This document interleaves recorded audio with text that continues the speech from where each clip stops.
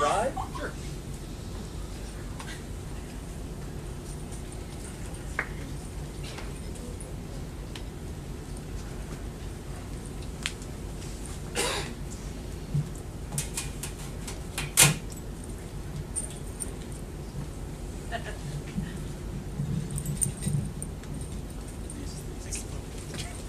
You're the mic stand whisperer today, Joseph. Thank you.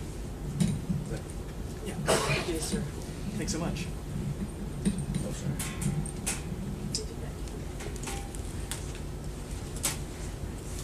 All right. Hey, everyone. Um, I'm going to read a you know a couple things for you. I think I'm you know just two and quick to keep it uh, pretty snappy. Uh, but this is probably the, the first one I'm leading off with is probably uh, the most uh, self-indulgent thing I'll I'll actually try to read. But I figure this is uh, maybe a more patient audience than uh, others, so I'll I'll beg your indulgence for a little bit.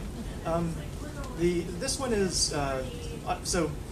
I write, if you, you haven't heard before, I write things that rhyme, you know, lyrics and uh, verse, things that would be uh, would have tunes if I knew how to turn them into music, which I um, can't do to my own standards. Uh, so, I'm so this is a uh, so I, I really love different sorts of rhyme, different sorts of meter, and this is a, a my take on a traditional Indian uh, stanza form, the gu- the ghazal, uh, and uh, it's got a very uh, stereotypical. Well, it, the characteristics of it are a couple. There's a um, there's it's got a the, first couplet starts with a rhyme followed by a refrain, a rhyme followed by a refrain. Then every couplet after that has that same sort of feeling. So, um, and the refrain is always very short, so it's just a few syllables of things. In this case, you'll hear the uh, the, the rhyme of declare compare and the refrain of I want you. So this is uh,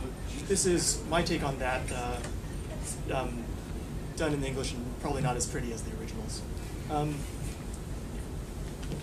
not enough, I suppose, just to declare I want you.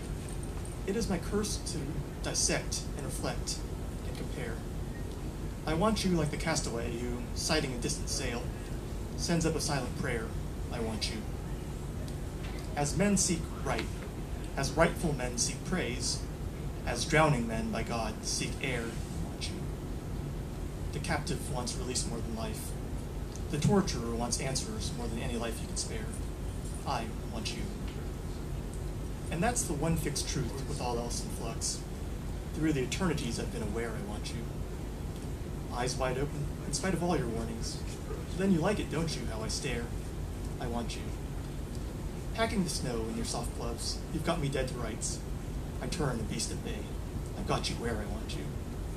And every phone call should be as urgent as the first. Er, Earnest, desperate, Mr. Watson, come here, I want you.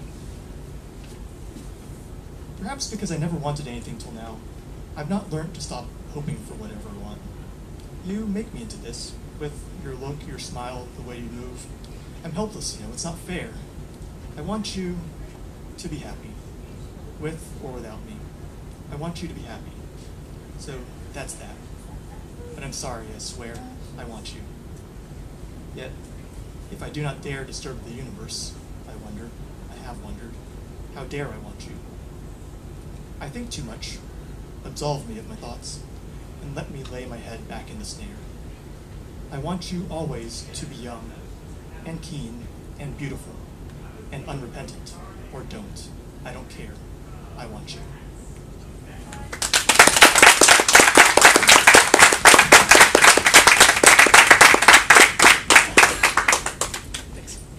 And uh, yeah, one more. Uh, I figure a lot of the audience is familiar with uh, subject of the ne- this next one, uh, and you may have heard me do an open mic last year.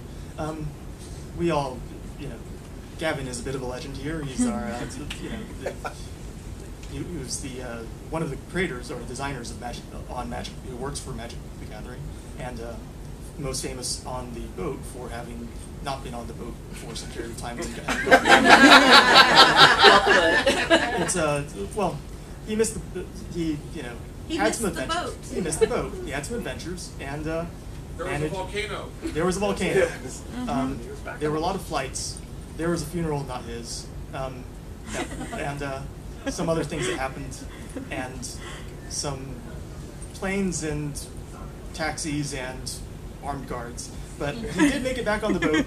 And um, anyway, this is uh, by way of a bit of tribute to him uh, and his journeys. It's called Make Your Own Magic. I've wandered through plains, crossing sky to sea, armed with only what's here, here in my hand.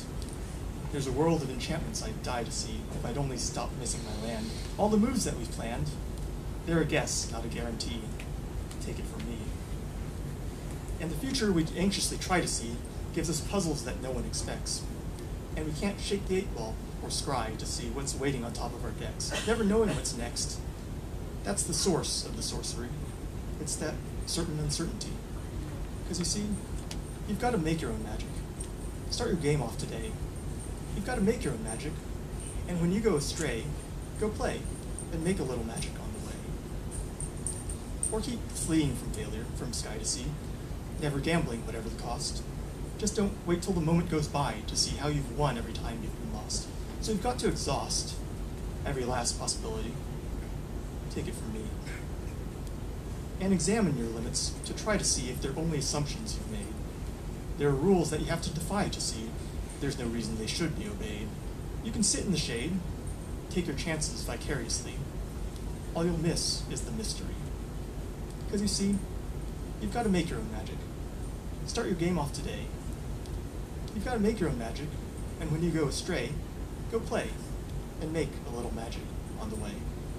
Thanks.